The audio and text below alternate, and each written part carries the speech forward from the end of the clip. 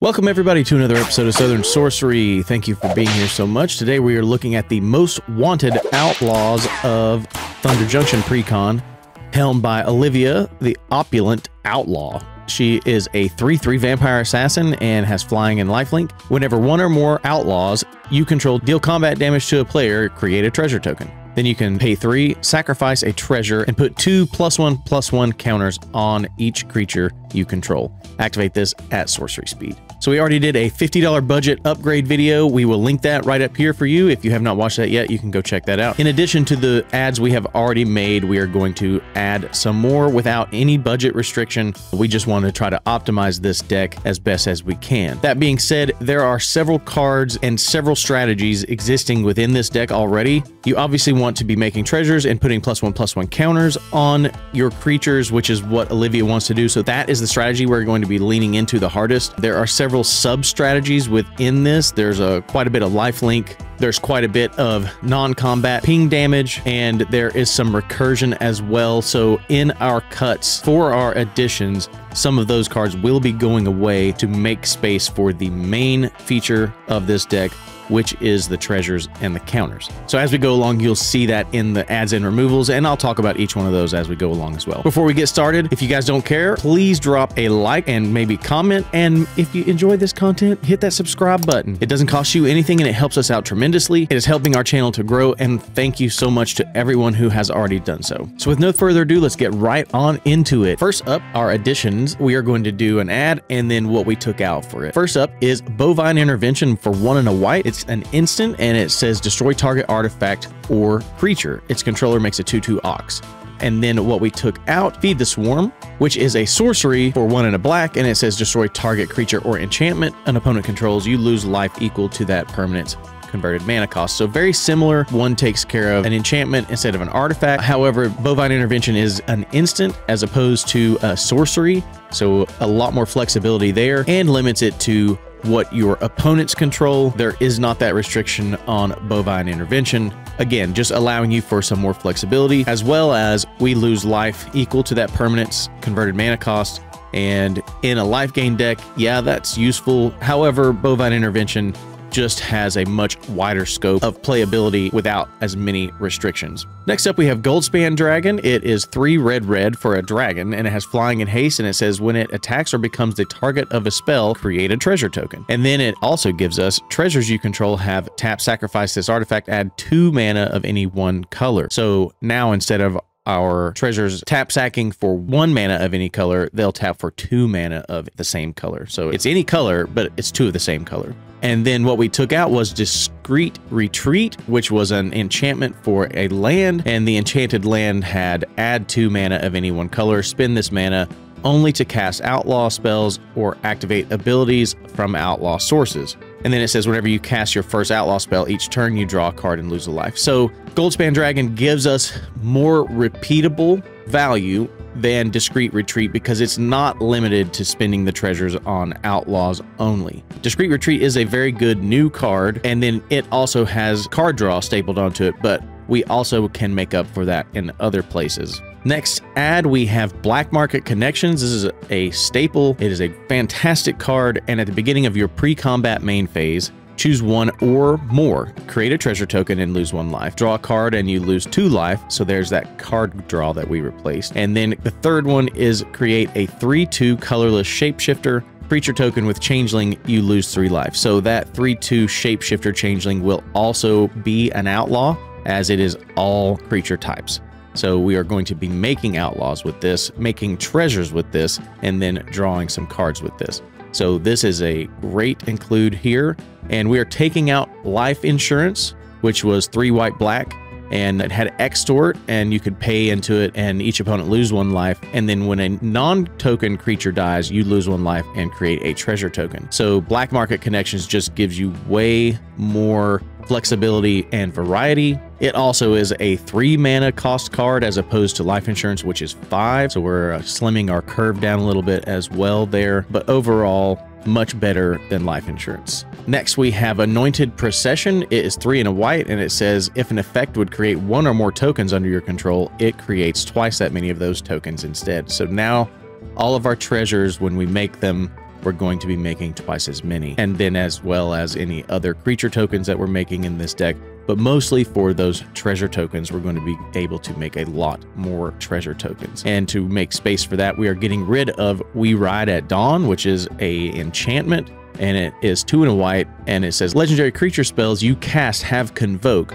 Convoke is nice, but it's restricted to legendary creatures. This isn't a Legends Matter deck. The second clause is whenever your commander attacks, create a 1-1 mercenary creature token with tap. Target creature you control gets plus 1 plus 0 until the end of turn. Activate that only as a sorcery. So it will make tokens, but overall, not super on theme with this deck. Not anywhere close to what Anointed Procession is going to do for us as far as value goes. Then we also have Mondrak Glory Dominus for two white white. It is also a token doubler, the same as Anointed Procession, except for this time it is on a 4-4 Phyrexian Horror body. And then it has the ability to potentially endure a board wipe as you can pay one and two Phyrexian white mana. And that means you can pay life instead of the mana. So you would pay one and four life, or you would pay one, two life, and a white it just gives you the flexibility to pay to life. And you can put an indestructible counter on Mondrak. So he would be able to endure through a destroy all creatures board wipe. And then we are taking out for that Dead Before Sunrise. It's three and a red, so the same mana cost. This one says until the end of turn, outlaw creatures you control get plus one plus and gain. Tap this creature deals damage equal to its power to target creature. Again, kind of more on the ping targets for damage, having your creatures fight other creatures. Not a bad card, just not really in line with what the commander really wants to do versus what Mondrak will do for us. Again, the value for Mondrak doubling our treasures is vastly more valuable than an instant where we have our creatures fight some other creatures. Potentially, though, if that card was to stay in the deck, it's it's a good card. It could be a one-sided board wipe, but that requires a lot of setup. Mondrak is just going to be a better option overall. Next, we've got Mirkwood Bats. It is three and a black for a flying 2-3 that says whenever you create or sacrifice a token, each player loses one life. So now every time we make a treasure, each opponent is going to lose one life, and every time we sacrifice a treasure, each opponent is going to lose one life. So as far as being able to ping our opponents goes, this is much more on theme as we're wanting to constantly make treasures and sacrifice those treasures. And then we are replacing the Mistmeadow Skulk, which was a two drop for a 1 1 with lifelink, and it has protection from converted mana cost 3 or greater just kind of an outlier in this deck. Not not really on theme with anything other than that there is a sub theme of lifelink in this deck, but our commander also has lifelink. Mistmeadow Skulk is just a 1-1, so doesn't gain us a whole lot of life. It just kind of doesn't make sense. Whereas the Mirkwood Bats are going to just do a ton of damage to our opponents, giving us a much more on theme creature. Next, we've got Phyrexian Arena. It is three, and at the beginning of your upkeep, you draw a card and lose a life. That's a staple I'm sure you guys have seen many, many times. Um, we're just trying to get a little bit more card draw on board, and because we do have that sub theme of lifelink, we should be able to regenerate some life. So paying one life to draw a card is no big fee. And then we are going to take out Bandit's Haul. It is a new artifact. It is on theme with this set, as in it fits great with the Outlaws, Thunder Junction. It makes sense, but in this deck, it says when you commit a crime, put a loot counter on Bandit's Haul, and a crime is targeting any of your opponents in any of the permanents they control or their graveyards. This ability triggers only one each turn. Then you can tap it for a mana of any color, so it is a mana rock, and then you can pay two and tap it to remove two loot counters from Bandit's Haul to draw a card. That's a ton of hoops to jump through to draw a card. That's why we felt like Phyrexian Arena would be better. And for three, it will provide mana, but we should be making enough treasures that that's not really super beneficial in this deck. It's just a little out of place in our opinion. Next ad, we have Revel in Riches. It is five and a black for an enchantment that says when a creature an opponent controls dies, create a treasure token, and then at the beginning of your upkeep, if you have 10 or more treasures, you win the game. So here's a win con for us, in addition to it generates more treasures for us.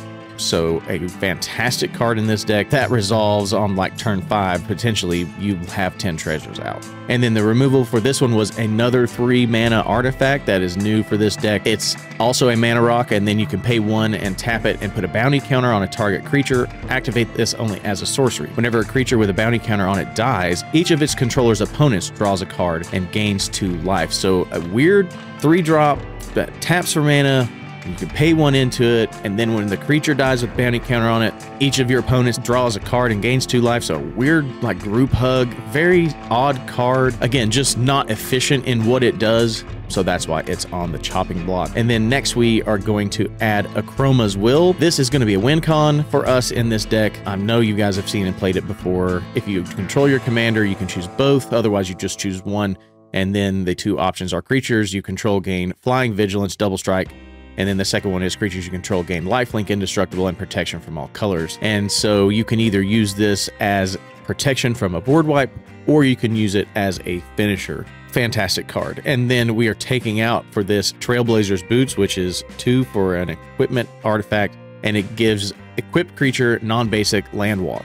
And then it has an equipped cost of two. So that one costs four and so does Akroma's Will by the time you equip it. Trailblazers boots, again, they've gone heavy on the boots for this set, as it is cowboys and outlaws, and everybody's wearing boots, so they've got a lot of boots in this set. That being said, there's just a lot better options out there, and Akroma's Will is one of them. Then we've got Ragavan Nimble Pilferer. This is a, an auto include in here as well. When Ragavan deals combat damage to a player, create a treasure token, then exile the top card of that player's library until the end of turn, you may cast that card. Again, we don't care as much about the playing the card, although that is a fantastic ability, but it's a one drop or a 2-1 that makes treasures and fits into our outlaw theme as he is a pirate. Um, so this is another great addition here. And we have taken out Witch of the Moors, which was three black black for a total of five for a human warlock with death touch. At the beginning of your end step, if you gained life this turn, each opponent sacrifices a creature and you return up to one creature card from your graveyard to your hand. So that does provide us a little bit of recursion. And there is a small sub theme of recursion here in this deck, but at five mana to do something that's really not what this deck wants to do seems extremely expensive when we can have an option like Ragavan. Next, we have an enchantment called All Will Be One. It's three red red, and it says whenever you put one or more counters on a permanent or player, All Will Be One deals that much damage to target opponent, creature an opponent controls, or planeswalker an opponent controls. So now every time we pay for Olivia to put the two plus one plus one counters onto each creature we control, we have that much damage to shoot wherever we want it, somebody's face, at somebody's creatures, at somebody's planewalkers, however we want to spend that damage we have. This is a really good card in this deck.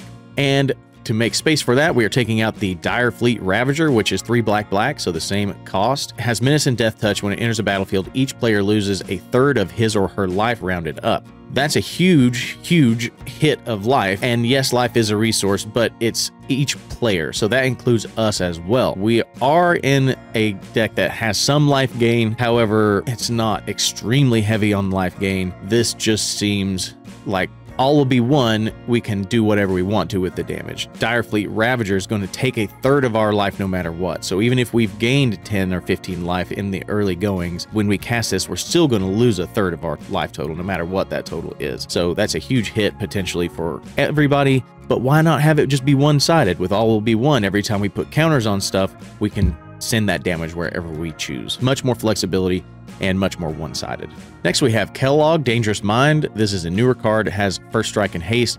Whenever it attacks, create a treasure token, sacrifice five treasures, gain control of target creature for as long as you control Kellogg. Activate this only as a sorcery. So another creature that is a mercenary, so fits right into our outlaw theme. So he'll generate a treasure token when he attacks, and then with Olivia out, he'll also generate if he does combat damage. So with this, we'll be making more treasures. And to make space for him, we have taken out Grenzo Havoc Raiser. And Grenzo says whenever a creature you control deals combat damage to a player, choose one. Goad target creature that player controls. Don't care about that. Exile the top card of that player's library until the end of turn. You may cast that card and spend mana as though it were mana of any color to cast that spell.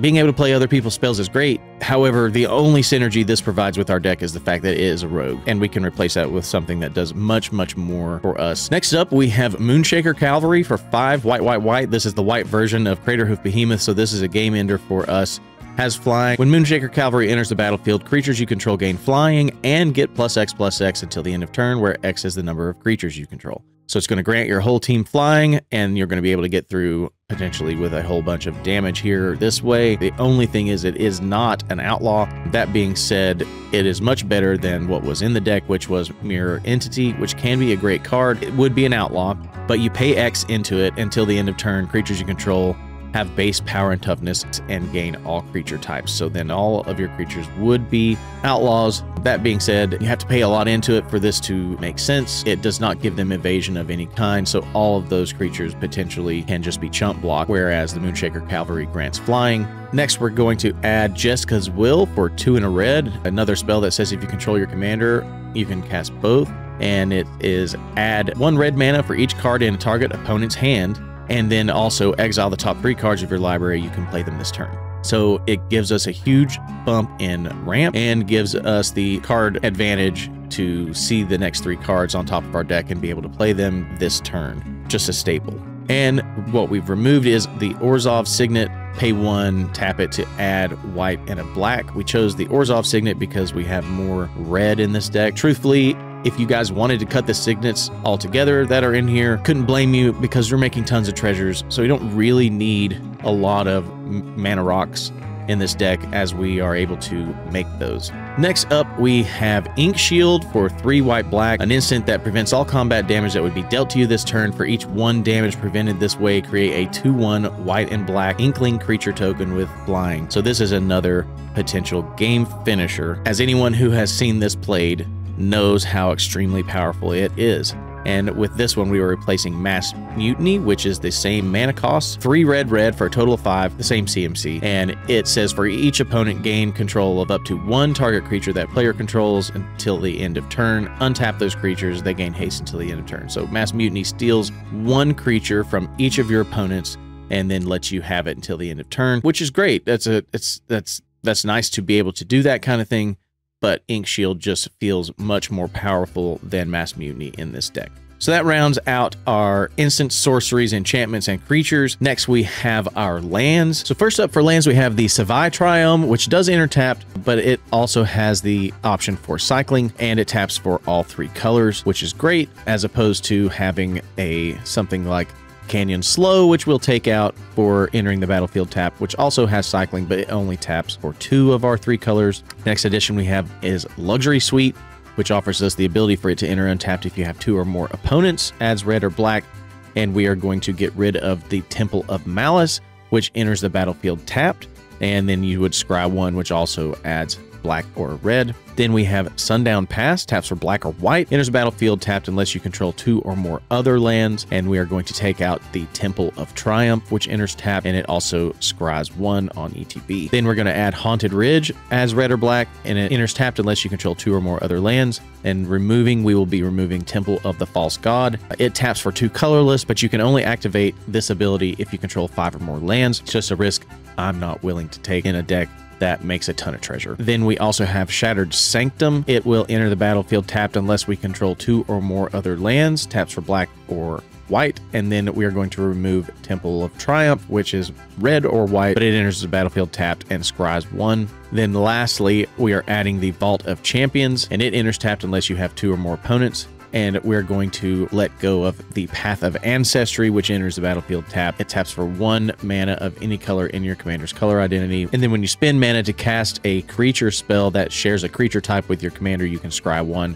which is good, but our Commander is a vampire assassin. This isn't really a typal deck. It does care about outlaws, but outlaws is a collection of creature types, and so Path of Ancestry will not recognize outlaws as a creature type. If that was the case, Path of Ancestry would definitely be staying in this deck. It would justify it coming in tap. So again, what we've done is move on from some of the things that don't quite make much sense in this deck. They're servicing a third and fourth strategy that kind of doesn't really have so much of a place. When you build a deck and you build into what your commander does, you really want to try to lean very heavily into the thing that your commander does well and then put other creatures in place that supplement that. That way, if your commander gets removed, you have other ways to keep moving forward with your game plans. Thanks again so much for watching. Please like and subscribe. Comment this video if you have other suggestions for cards we missed. You can only put 100 cards in a deck. And so we know there's tons of cards out there that have a place in this deck. Check out our social media. We're on Twitter, Instagram, Discord, Patreon, and we just started doing Twitch streaming. So check that out. 10 p.m. on Wednesday nights, we are streaming live gameplay here on YouTube and on Twitch. So check us out there on your preferred social network platform. Thanks again so much and have an awesome day. Bye bye.